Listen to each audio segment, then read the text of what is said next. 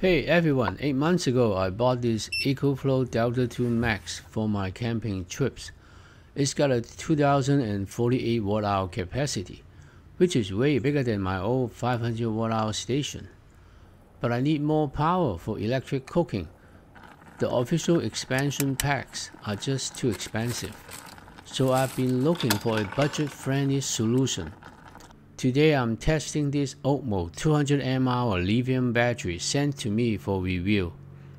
It's supposed to give me 2560 watt hour and it's only $319 on Amazon, which is like 12 cents per watt hour. Let's see if it is worth the hype. I'll do a capacity test and then see if it can charge my Delta 2 Max from 0 to 100%. First, I'll charge the battery all the way up to 100%. Now it's fully charged. I'll connect it to this popular capacity tester to check how much power it really has. Okay, it's showing 12.4 volt. I'm draining it to see what happens. This is going to take a while, so I'll come back later.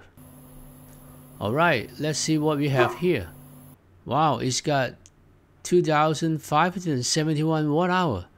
That's more than they said it would have. They said it would be 2,560 watt hour, but it's even better. For amperage, it's got 212 amp hour, also more than they advertised. That's impressive. I'll charge it again for our next test. It's going to take some time to charge back up, so we'll wait a bit more. Okay, the battery is full again. Let's hook it up to my power station, which is totally empty right now.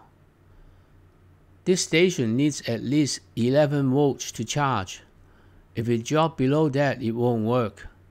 I want to see if this battery can make it go from empty to full, since there might be some energy loss and voltage will taper off after a certain percentage. I'm using this special cable to connect them. It's called an XT60i cable and is important for fast charging. It's got a female XT60i on one end and battery ring terminals on the other end. This power station can take two separate 500 watt solar inputs, so you could use two batteries if you want. It's crucial to use an XT60i cable for it to recognize the input as solar input for the best charging speed. It's getting 193 watt. This will take some time, so let's check back later. While we wait, here are the details on this OKMO battery.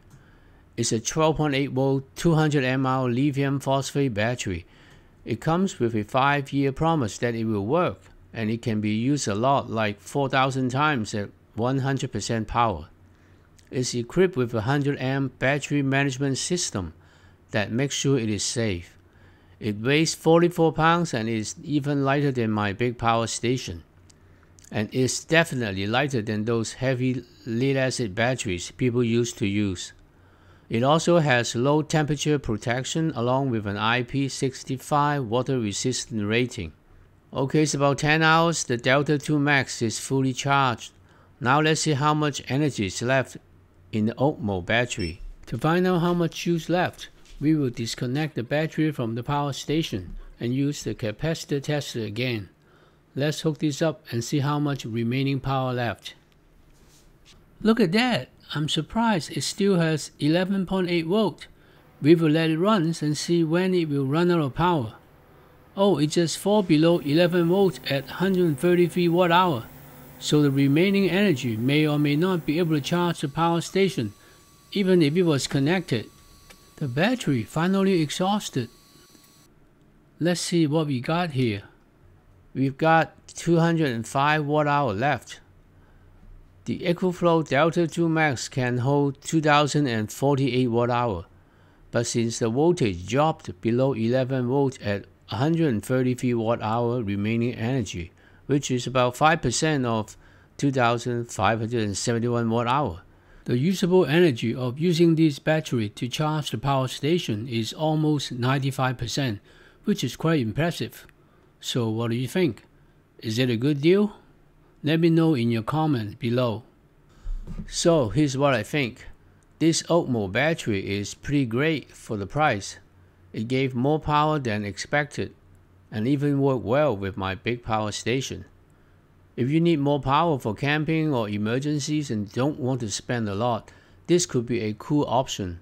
But remember I didn't do any tests on how it handles really cold weather or if it can deal with too much voltage. Those protections are supposed to be there, but I haven't checked them out myself. Still, for the money, it's a good deal if you're okay with a little less than perfect. This battery meet my objective of doubling my power station with no issue. It provides 2120 watt hour usable energy to charge my power station, which is only 15 cents per watt hour. I will continue to use and test this battery in real world and provide more feedback in the future. If you find this video helpful, please like and subscribe for more video like this. Until then, I'll see you in my next video.